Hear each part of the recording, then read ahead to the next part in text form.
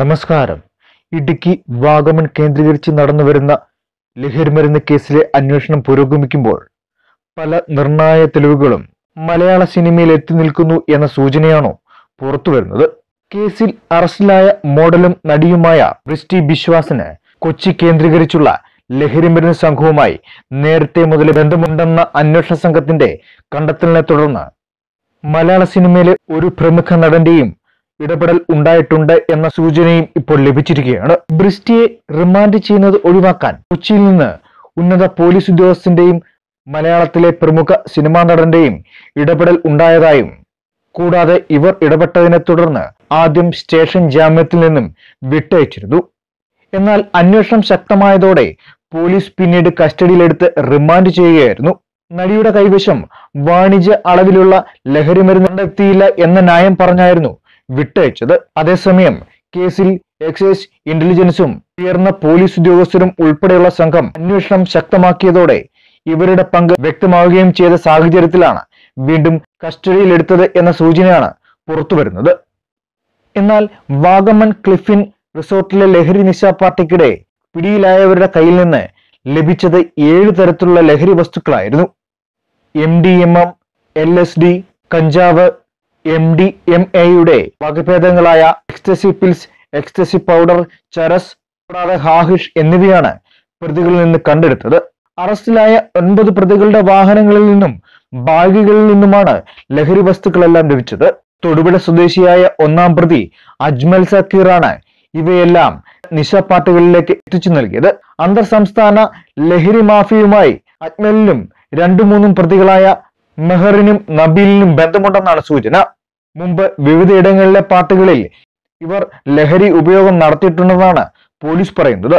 എന്നാൽ കേസിലെ ഒമ്പതാം പ്രതിയും നടിയുമായ ബ്രിസ്റ്റി ബിശ്വാസിന് ലഹരിമരുന്ന് സംഘവുമായി നേരത്തെ മുതൽ ബന്ധമുണ്ടെന്നാണ് വിവരം. പനമ്പള്ളി നഗറിലെ ഷോപ്പിംഗ് കോംപ്ലക്സ് കേന്ദ്രീകരിച്ച് ഒത്തുകൂടുന്ന ലഹരി സംഘത്തിലെ കണ്ണികളിൽ ഒരാളാണ് തൃപ്പൂണിത്തുറ സ്വദേശിയായ നടി. എന്നാൽ നിരവധി സിനിമകളിൽ വില്ലൻ വേഷങ്ങൾ ഉൾപ്പെടെ ചെയ്തിട്ടുള്ള നടൻ സംഭവ സമയത്ത് വാഗമണിൽ മറ്റൊരു റിസോർട്ടിലുണ്ടായിരുന്നു.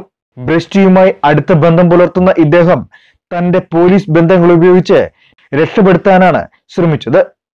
ഇതേ തുടർന്ന് കൊച്ചിയിലെ പോലീസുകാരിൽ ഒരാളും ഇവർക്കായി ഇടപെടൽ നടത്തിയിരുന്നു. കൊച്ചിയിലെ ലഹരി ഇടപാട് സംഘവുമായി ഇവർക്ക് ബന്ധമുണ്ടെന്ന് ഈ പോലീസ് ഉദ്യോഗസ്ഥന് അറിയാമായിരുന്നു. പോലീസിന്റെ ഇൻഫോർമർ ചമഞ്ഞ് ഈ ഉദ്യോഗസ്ഥനുമായി ഇവർ അടുത്ത ബന്ധം പുലർത്തുകയായിരുന്നു. ഇതേ തുടർന്ന് ചില ലഹരി കേസുകളിൽ പിടികൂടിയതിൽ പോലീസിന് ഇവരുടെ സഹായം ലഭിച്ചെന്നും പറയുന്നു. കൂടാതെ പോലീസ് ബന്ധം ഉപയോഗിച്ച് എതിരാളികളെ കുടുക്കുകയായിരുന്നു ഇവരെന്നും പറയപ്പെടുന്നു. കൊച്ചി പനമള്ളി നഗറിലെ ഷോപ്പിംഗ് സെന്റർ പരിസരം കേന്ദ്രീകരിച്ച് ലഹരി ഉപയോഗിച്ചിരുന്ന സംഘത്തിലെ കണ്ണികളുമായി ഇവർക്കുള്ള ബന്ധം പോലീസ് തിരിച്ചറിഞ്ഞിരുന്നു. ഇതേ തുടർന്ന് വാഗമണ്ണിൽ ബർത്ത്ഡേ പാർട്ടി നടത്താനെത്തിയ സംഘത്തിലെ അംഗങ്ങളിൽ ഏതാനും പേരിൽ നിന്ന് മാത്രമാണ് ലഹരി പിടികൂടാനായത്. നേരിട്ട് കേസ് ചാർജ് ചെയ്യാൻ സാധിക്കാത്തവരെ പോലീസ് വിട്ടയക്കുകയായിരുന്നു. ഇവർ ലഹരി ഉപയോഗിച്ചിരുന്നു എന്നറിയാൻ സാമ്പിൾ പരിശോധനയും നടത്തിയിട്ടുണ്ട്. ഇതേ തുടർന്ന് ഫലം പോസിറ്റീവ് ആകുന്നവരെ വിളിപ്പിക്കുമെന്നും ഹാജരാകണമെന്നും ആവശ്യപ്പെട്ടാണ് തിരിച്ചയച്ചിട്ടുള്ളത്. എന്നാൽ ലഹരി വിരുന്ന് ആരംഭിക്കുന്നതിന് മുമ്പ് പോലീസ് സ്ഥലത്തെത്തി എന്നതിനാൽ പാർട്ടിക്ക് എത്തിയവരിൽ നല്ലൊരു പങ്ക് ആളുകളും ലഹരി ഉപയോഗിച്ചിരുന്നില്ല. പാർട്ടിക്ക് എത്തിയവർക്ക് ലഹരി മരുന്നുകൾ വിറ്റ് പണം സമ്പാദിക്കുക എന്നതായിരുന്നു പിടിയിലായവരുടെ ലക്ഷ്യമെന്നാണ് പ്രാഥമിക കണ്ടെത്തൽ അമ്പത്തെട്ട് പേരാണ് നിശാ നടന്ന സ്ഥലത്തുണ്ടായിരുന്നത്. ലഹരി പിടിച്ചെടുത്തത് സംഘങ്ങളിൽ ചിലരുടെ കാറുകളിൽ നിന്നായിരുന്നു എന്നതിനാൽ റിസോർട്ട് ഉടമയും കേസിൽ നിന്ന് ഒഴിവായി.